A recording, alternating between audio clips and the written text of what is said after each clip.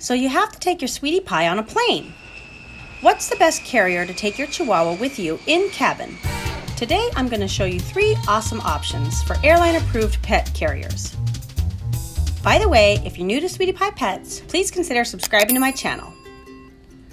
So I recently went to my affiliate's house, Carol and Carlos, to prepare their little Sweetie Pie Crystal for her upcoming flight to Philadelphia. Crystal will be going to her forever home and her new mommy, Angie.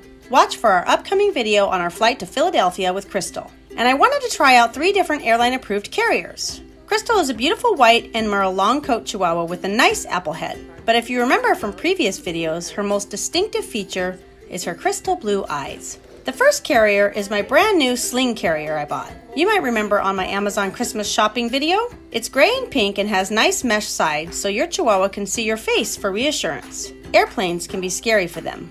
It's hands free and you carry your puppy close to your body. This can also be comforting as she can hear your voice and smell your smells. Plus, hands free allows you to carry other items. It's got a handy clip to attach your Sweetie Pie's harness so she can't jump out. The main drawback is that it's a sling and may not sit level on the floor when you have to put it below the seat in front of you. By the way, please check with your specific airline for their unique requirements. For my flight to Philly, my airline allows any of these carriers found in this video. Airlines require pets to be in carriers, and the carriers need to fit under the seat in front of you. Crystal feels nice and secure, almost like a kangaroo pouch. It also has this little Velcro fastener. That sounds like a good idea. I guess to keep you from accidentally catching the zipper on something and unzipping the sling. Once in the air, you can retrieve your little sweetie pie, but the flight attendants might grumble if you put them on the food tray. Believe me, I speak from experience. The second carrier is the soft-sided carrier. These come in a variety of sizes, and you would need to check with your airline regarding what's allowed. I know from experience these small carriers fit nicely under the seat and have mesh sides all the way around for air circulation. And airlines don't mind you removing your pet once in the air, but that makes me a bit nervous. I know she'll be frightened by the whole experience, and the last thing I would want to happen is that she escapes and runs up and down the aisle. Most airlines, if not all, no longer permit you to place a carrier in the overhead bin. So this soft-sided carrier is perfect for under the seat in front of you. Crystal's not too sure about going in, but that's why I want her to get used to the feeling of being in the carrier well before we leave. I don't want her to have any surprises for the upcoming trip. It is surprising how quickly your puppy gets accustomed to being in a crate. And remember, this is primarily for her safety. You want to protect and keep her out of harm's way. And finally, the hard-sided crate. My airline allows this size, which is the smallest size hard-sided crate. My airline requires additional nuts and bolts on each corner to keep the top and bottom together. It's a little extra work drilling the holes and attaching the hardware.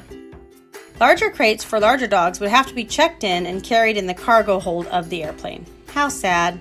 But this is one of the reasons we love our little chihuahuas. They're compact and fit nicely in carry-on crates, slings, and bags. And sometimes purses. So I'm going to put the crate inside her habitat. It might take some time getting used to the crate, and if she can go in on her own, that's great. I put familiar items there with her. Crystal loves golf balls. How funny.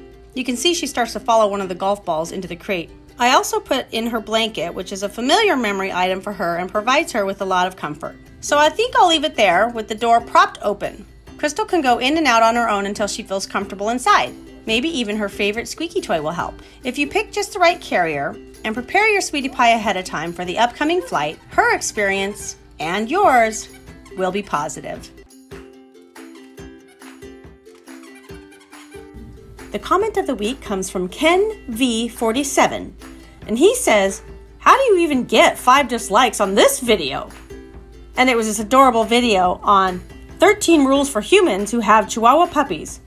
You know what, Ken? I totally agree. I don't know why anybody would dislike that. I thought it was adorable. Thanks for watching, everyone. We'll see you next time on Sweetie Pie Pets.